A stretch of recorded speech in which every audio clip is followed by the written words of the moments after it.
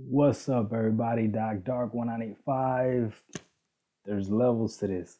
All right, so check this out. So I haven't made a video in a while, so I wanted to make this video because I got to keep up with you know my content and stuff and keep producing videos for you guys. But let me tell you, it's not easy when you got a full-time job and you got a you know family you got to take care of and everything. So for all you YouTube creators out there that constantly keep pumping out freaking video after video, and for those of you that do like amazing editing in your videos. Salute, because there's levels to this. Anyways, with that being said, this video, as you guys see the title, is about the HyperX Cloud earbuds, okay? I literally just got them. I literally just opened them. And if you want a mic test, well, this video is being done with them. So as you can see, I got them on right now. So they're they're not they're not really expensive, right? They're they're a decent price. I got mine for forty bucks, okay, um, at that uh, at GameStop, and yeah, I mean the presentation. We open the box is nice, right? Even though I'm not really I'm not really huge on that, anyways. Um, what I did think is a huge plus, for sure, is they come with a they come with a pouch, okay, and to me, I think that's great because I could put it. Oh, I just dropped the box. I could put it in my in my backpack, right? Put them in there, just throw in my backpack. When it's time for me to find them, I just grab the whole thing, pull it out, I'm good to go.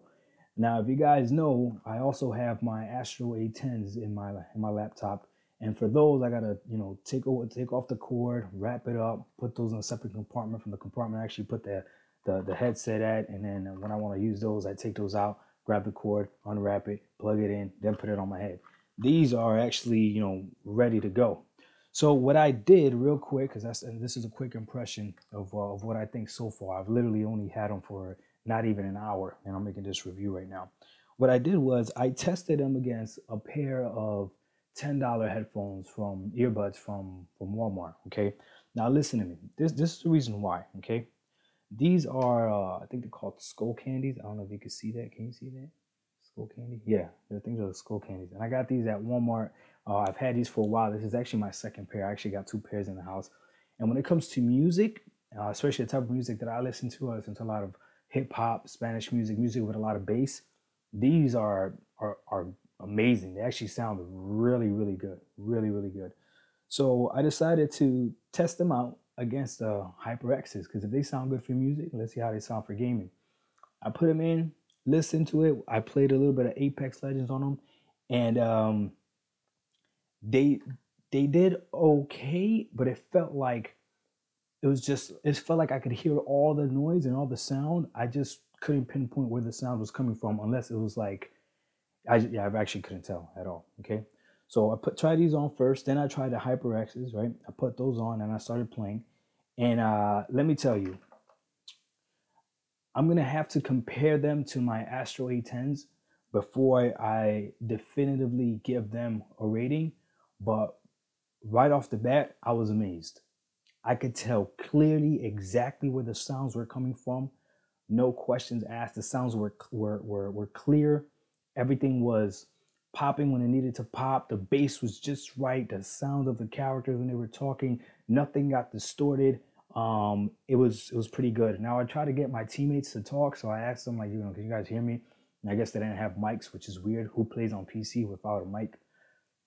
If you do, I'm sorry. Okay, but it's just game is a lot better when you actually talk to your teammates. But whatever.